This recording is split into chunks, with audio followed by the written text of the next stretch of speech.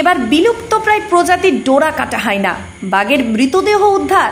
কীভাবে এলো এই হায়না বাঘ? কেনই বা তাকে পিটিয়ে হত্যা করল এলাকার মানুষ? দেখুন সে বিস্তারিত তথ্য। ঘটনা মেদিনীপুর সদর ব্লকের বন বিভাগ রেঞ্জের অধীনে মুরাকাটা থেকে মিলল বিলুপ্ত প্রায় প্রজাতির ডোরা কাটা হাইনার মৃতদেহ। এলাকাবাসীর কাছ থেকে জানা যায়, শনিবার জঙ্গল থেকে বেরিয়ে মুরাকাটা গ্রামে ঢুকে পড়ে। হাইনাটি গ্রামে ঢুকে পড়ায় ওই হাইনাটিকে লাঠি সোটা নিয়ে তাড়া করা এবং তার উপর স্থানে কিছু মানুষ নৃশংস আক্রমণের একটি ভিডিও ভাইরাল হয়েছে সোশ্যাল মিডিয়ায়।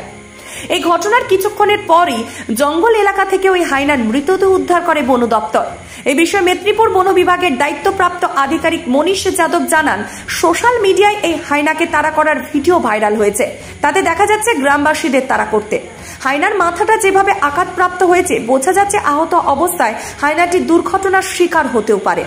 হাইনাটিকে মারা হয়েছে নাকি পথ দুর্ঘটনার ফলে মৃত্যু হয়েছে, রবিবার হাইনাটির ময়না তদন্ত করা হবে। তারপরে মৃত্যুর যথাযথ কারণ বোঝা যাবে। মেদিনীপুর রেঞ্জের তরফ থেকে ঘটনার তদন্ত শুরু করা হয়েছে। এই ঘটনার প্রশ্ন উঠছে যে, তাহলে কি এই জঙ্গলে হাইনার অস্তিত্ব রয়েছে? তাহলে কি এই জঙ্গলে একটি হাইনা ছিল নাকি আরও হাইনা রয়েছে? অন্য কোথা থেকে এসেছিল জঙ্গলে এই হাইনাটি? তদন্ত করে দেখা হচ্ছে, এমনই জানিয়েছেন বন দপ্তর। বাংলার সার্কেল নিউজ।